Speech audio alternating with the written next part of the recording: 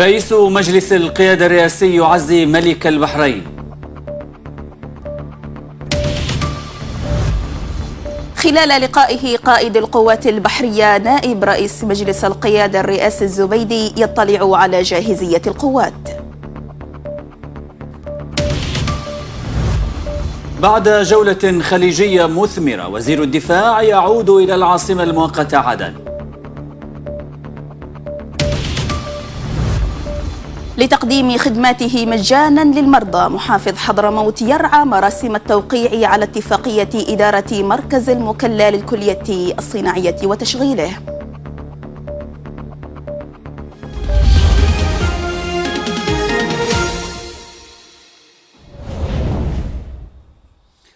السيدات والسادة من مبنى تلفزيون حضرموت بمدينة المكلا نقدم لكم نشرة إخبارية مفصلة نبدأ النشرة مع فخامة الرئيس الدكتور رشاد محمد العليمي رئيس مجلس القيادة الرئاسي الذي بعث اليوم برقية عزاء ومواساة إلى جلالة الملك حمد بن عيسى الخليفة ملك مملكة البحرين وذلك في وفاة الشيخ عيسى بن مبارك بن حمد الخليفة. وأعرب رئيس مجلس القيادة الرئاسي باسمه وأعضاء المجلس عن خالص تعازيه وأصدق مواساته لجلالة الملك وأسرة الفقيد.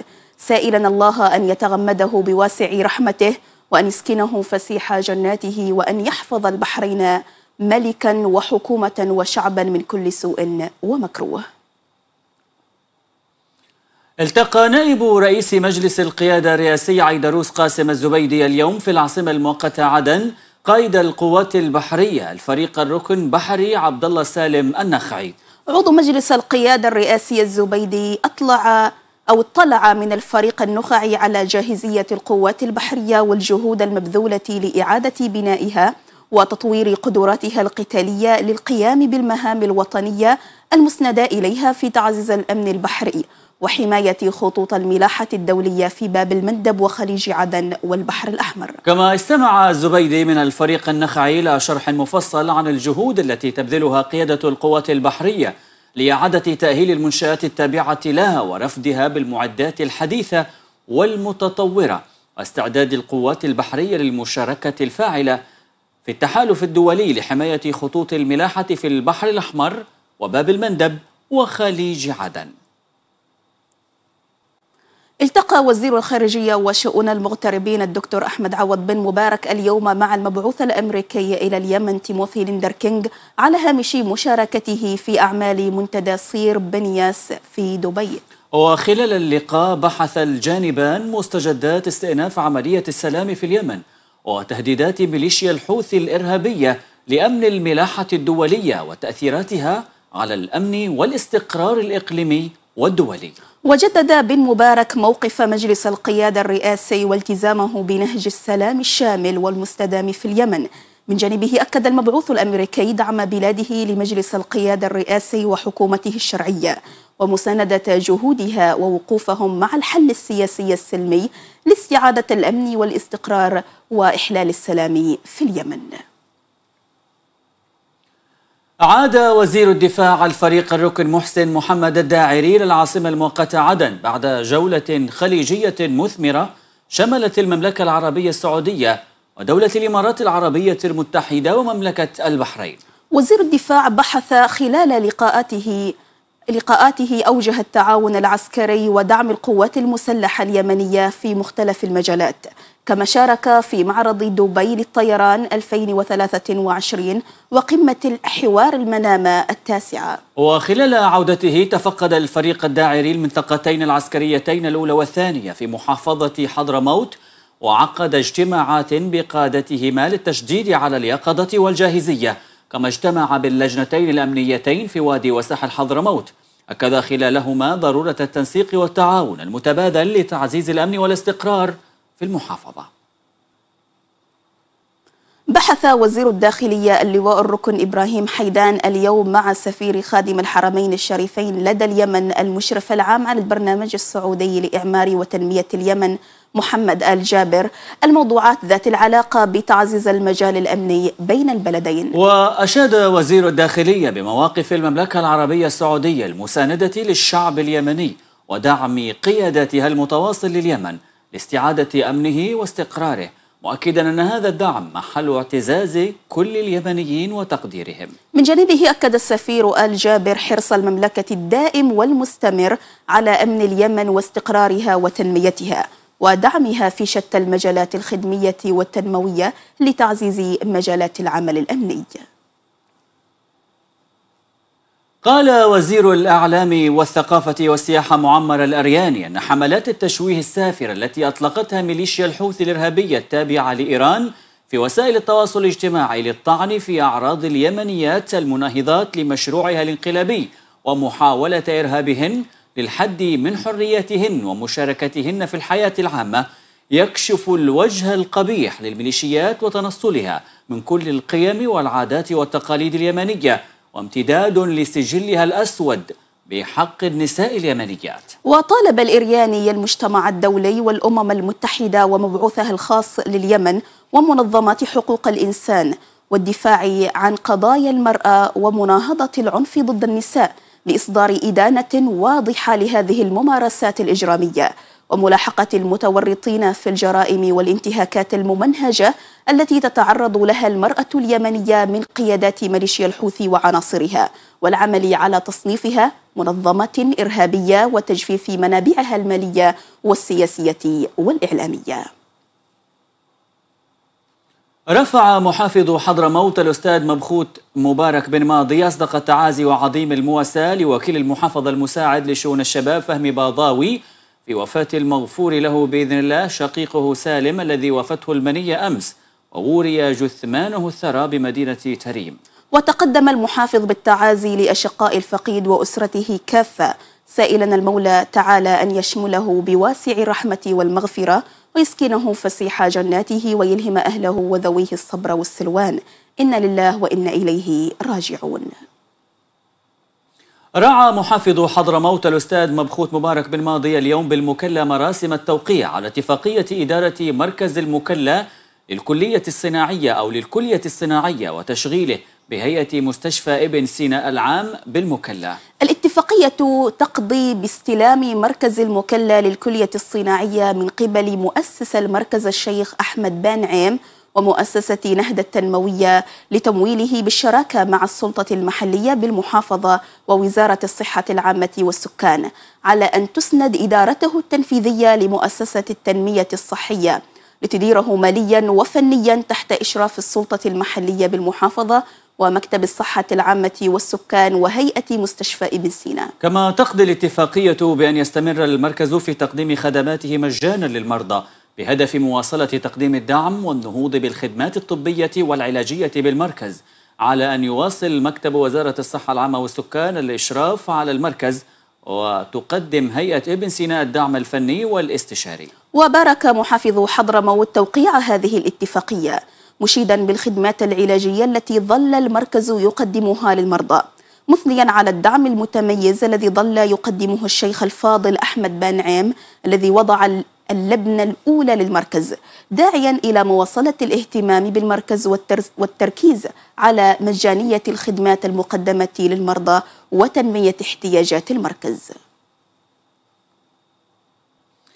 حضر محافظ حضرموت الأستاذ مبخوت مبارك بن ماضي اللقاء الموسع ومأذوبة الغذاء التي أقامها وجهاء حارات باسويد والبدو وجول الشفاء بديس المكلا عقالها وأعضاء اللجان المجتمعية وشبابها. الذين رحبوا بالأخ المحافظ مؤكدين وقوفهم ومساندتهم لخطواته الرامية إلى حفظ الأمن والاستقرار ولم الشمل وتوحيد الكلمة. وأكدوا نيابة عن أهالي حارات باسويد والبدو وجول الشفاء وشبابها وقوفهم مع قرار السلطة المحلية بالمحافظة القاضي بوقف توريد الإيرادات للبنك المركزي وتسخيرها لخدمات المواطنين. وأشاد الأعيان والمقادمة والوجهاء بجهود المحافظ ومساندته لجهود اللجنة الأهلية للمتابعة لاحتواء أبنائه الشباب ومساندتهم لخدمة أهلهم وحفظ الأمن والعمل سويا من أجل نيل حقوق حضرموت وتثبيت دعائم الأمن والاستقرار في ربوع المحافظة. وقال المحافظ دعونا نتجه لتوفير الخدمات لإحياء لأحياء ديس المكلا ومناطقه ومدينة المكلا وحضرموت بشكل عام. اليوم أنتم أكثر قوة. زاد من قوتكم التمسك بقوة القانون. بالأمس كان بعضكم أو بعضهم خارجا عن القانون لكن اليوم القانون إلى جانبكم. قد يقول قائل إن المحافظ قد يصنف القانون كيفما ينبغي له ولكننا نقول إننا استخدمنا حقنا القانوني في العفو عن بعض الشباب بمتابعات وتعهدات من عقال مناطقهم ووجهائهم ليساندوا الحق ويدعموا الأمن في المجتمع. وأضاف أما الذين عليهم أحكام قضائية فهذا من اختصاص ولي الأمر فخامة الرئيس الذي سنسعى معه لحل هذا الموضوع ليكون شبابنا عناصر فاعلة في المجتمع تقف إلى جانب الحق وتدعم النخبة والأمن وتسهم في اقتلاع أي عادات أو تصرفات دخيلة على مجتمعنا وتضر بأمنه واستقراره. يوم سعيد أنني ألتقي بأهلي وأخواني في هذا الحي. أحياءنا نحن من هنا انطلقنا وإليها نعود. آه، سعيد جدا باللقاء بكل اللجان المجتمعية واللجنة التي وصلت إلينا مشكورين على مدى أكثر من شهر ونصف وهم في متابعة. تكللت جهودهم بالنجاح. نحن سعداء اليوم أننا نلتقي بأهلنا وبأخواننا وكأنه يتمثل أمامي البيت الذي يقول إذا صح منك الود فالكل هين وكل الذي فوق التراب تراب. ألا ليت الذي بيني وبينك عامر وبيني وبين العالمين خراب. ما أجمل من أن تكون هناك اللحمة بين بين السلطة وبين الأهالي. تقوى السلطة بهم وهم يقوون بها. آه، نحن لا نريد أن نكسر هذه القوة في هذه الأحياء بل هي قوة لنا. ولكننا نوجهها إلى مكانها الصحيح. النخبة الحضرمية والأمن في المكلا هم أبنائكم ومنكم وإليكم. آه، لا, لا, لا نريد لا نريد لهم انكسار ولا نريد أن تتجابهوا معهم. قد يحصل الخطأ نصلح الخطأ ولكننا نريد قوتكم دائما وأبدا تكون من مصلحة حضرموت ومن أجل حقوق حضرموت. نهيب عليكم بأن هذه بلادنا ويجب علينا الحفاظ على الأمن فيها وأن نتجه نحو ماذا نستطيع أن نفعل للأهالي من مشاريع آه، تكون علاقتكم بالسلطة المحلية لقوتها ولأيضا ما تستطيعون أن تأتوا به من خدمات آه، للأحياء. ما أجمل أن تكون الديس هكذا بأيدي أبنائها. رائعة. أنا أوجه الشباب كلهم جميعهم أن يتجهوا إلى أعمالهم فليعود العسكري إلى عمله وليعود الذي يزاول مهنة أخرى إلى عمله وهم آمنين. وأقوياء. اليوم اليوم أقوياء بالقانون أيضا. القانون معهم الآن. أشاد الوكيل الأول لمحافظة حضرموت الشيخ عمر بن حبريش بإقامة الفعاليات الرياضية المشتركة بين شباب وفرق محافظتي حضرموت والمهرة. مشيرا إلى أن ذلك له دور في تشجيع النشاطات الرياضية وتطويرها. جاء ذلك خلال لقائه في المكلا رئيس الهيئة الإدارية وأعضائها لفريق زعيم العق الرياضي بمديرية الريدا وقصيعر الفائز ببطولة الوفاء للفقيدين الدكتور علي محمد بدينار والكابتن عادل صالح ببطاط في نسختها الرابعة التي نظمت في مدينة سيحوت بمحافظة المهرة وشارك فيها 30 فريقا رياضيا. وخلال اللقاء هنأ بن حبريش فريق العيق بمناسبة فوزهم بالبطولة وللمرة الثانية بعد حصولهم على لقب البطولة في نسختها الأولى عام 2017 مشيدا بمستوى التنظيم والحرص على انتظام هذه الفعالية الرياضية كل عام.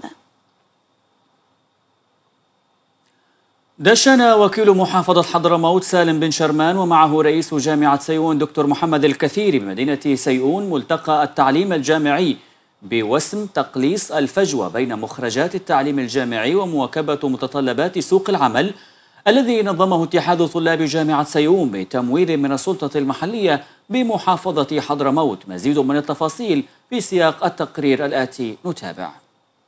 من أجل تقليص الفجوة بين مخرجات التعليم الجامعي ومتطلبات سوق العمل نظم اتحاد طلاب جامعة سيئون ملتقى تعليميا بوسام تقليص الفجوة بين مخرجات التعليم الجامعي ومواكبة متطلبات سوق العمل بمشاركة نخبة من الأكاديميين والباحثين والمختصين. اليوم شاركنا اتحاد العام لطلاب جامعة سيون والذي ينفذ نشاط نوعي اللي هو ملتقى التعليم الجامعي والتي يهدف إلى تقليص الهوة بين مخرجات التعليم الجامعي وسوق العمل. فهذا نشاط نوعي نتمنى لهم التوفيق والنجاح والتوفيق في توصيات ومخرجات هذا الملتقى حقيقة في هذا اليوم من الأيام العلمية العملية أقولها هكذا هم الشباب دائما وهكذا هو اتحاد طلاب جامعتنا آه الذي استطاع أن يقيم هذا الفعالية وينفذها هذا الفعل يدل حقيقة دلالة على أنه المستقبل واعد. من خلال الانتماء لدى شبابنا من خلال حب شبابنا آه وتصوراتهم المستقبلية. قدمت في الملتقى ثمان أوراق بحثية تناولت احتياجات قطاع العمل في محافظة حضرموت وإسهام منظمات المجتمع المدني في تقليص الفجوة وفرص التوظيف للفتاه واتجاهات الشباب نحو العمل الحر وريادة الأعمال ودور الجامعة في تنمية المسؤولية المجتمعية وواقع احتياجات سوق العمل والمهارات الحياتية ودورها في تحسين فرص الإنتاج. طبعا هذا الملتقى يحمل شعار نحو تقليص الفجوة بين مخرجات التعليم وسوق العمل نحو مجتمع أفضل.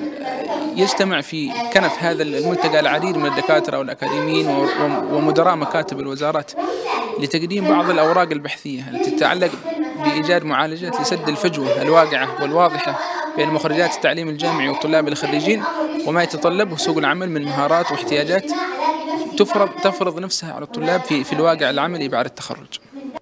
تسليط الضوء على أهمية تواصل الجامعات والمؤسسات التعليمية العليا مع سوق العمل وضرورة تطوير المناهج الدراسية والبرامج التعليمية لتتناسب مع احتياجات سوق العمل المتغيرة محمد باسعدة تلفزيون حضرموت سيئون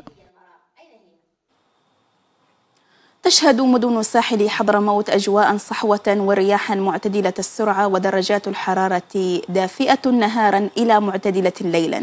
وفي أرياف الساحل والهضبة الجنوبية أجواء صحوة ورياح معتدلة السرعة ودرجات الحرارة معتدلة نهارا مائلة إلى البرودة ليلا. فيما تشهد مناطق وادي وصحراء حضرموت والهضبة الشمالية أجواء صحوة بوجه عام ورياحا معتدلة السرعة ودرجات الحرارة معتدلة نهارا إلى باردة ليلا والآن مشاهدينا إلى حالة الطقس.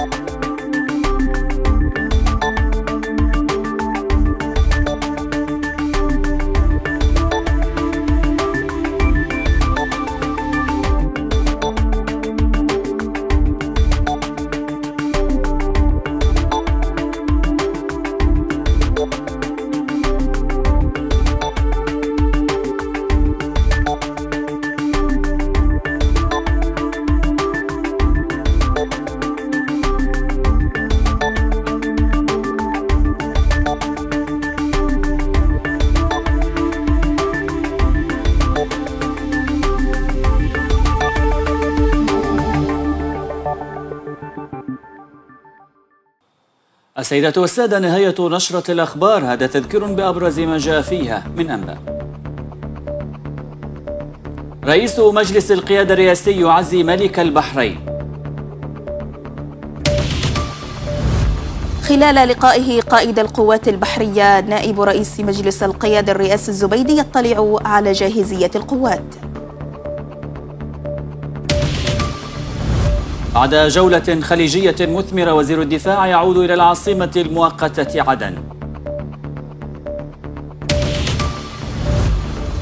لتقديم خدماته مجانا للمرضى محافظ حضرموت يرعى مراسم التوقيع على اتفاقية إدارة مركز المكلا للكلية الصناعية وتشغيله. ولمتابعة المزيد من نشراتنا الإخبارية يرجى زيارة حساباتنا على مواقع التواصل الاجتماعي. تلفزيون حضرموت تقبلوا تحيات آية محمد وتحيات زميل في النشر عمار جمال وتحية مترجمة لغة الإشارة تهاني بامثقال وطاقم نشرة الأخبار. دمتم بحفظ الله. إلى اللقاء. إلى اللقاء.